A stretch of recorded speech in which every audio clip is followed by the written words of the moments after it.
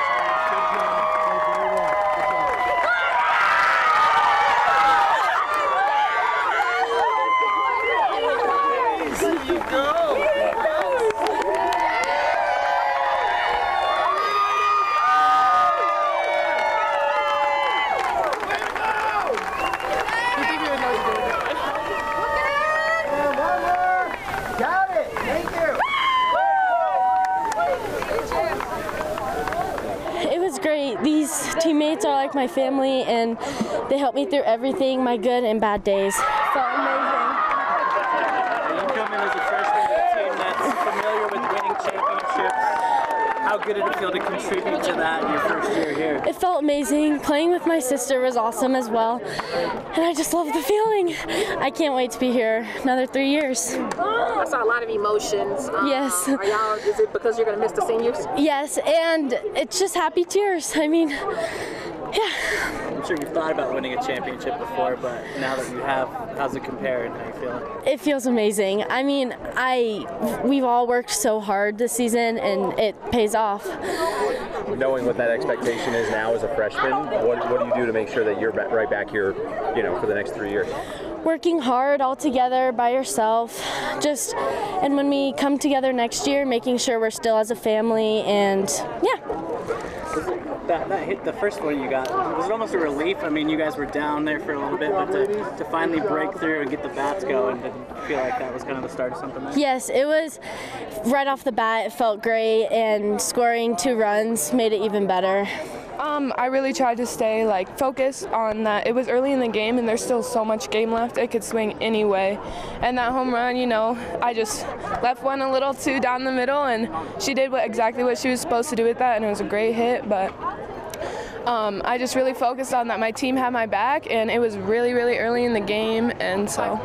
When you start to get some run support from your team, does that take the stress off a little bit? It does. It really does. It really brings my adrenaline up too and makes me fight even harder and even better and just have even more love and fight for these girls. How much of an advantage is it that you've been in this situation before and that this team has been in this situation? I think it's a really big advantage. I mean, this is a big stage, and honestly, it's such a blessing that we've been able to get here four times. Um, I mean, we, we handled it well and we did what we were supposed to do. how special is it to end on a win? It's so special to go out, one last year, my last year, and end it. Haley, if you could have uh, written a better script, I mean, there was questions whether you would be even be playing this year after what happened in August. Can you, can you put this into words? How, I mean, how far you've come since then? I mean, I've come a long ways. You know, I came back from my arm broken and I had some shoulder um, problems, and I was able to come back for this last tournament strong and willing to fight for my team and give it everything I had. I mean, last game with your dad. Yeah. He's coached you for years. Yeah. Talk to me about that feeling going out on top. It was honestly so amazing just to get out with him one more time. Uh, there was, I mean, we, there's a lot of people saying that the semifinal game might have been the state title game. Um, how did you guys kind of reel yourself back in to, to play this game? You know, that was a big win for us. You know, Holy Family was our last year competitor, and they beat us earlier this season, and it was an amazing game to have fought and won.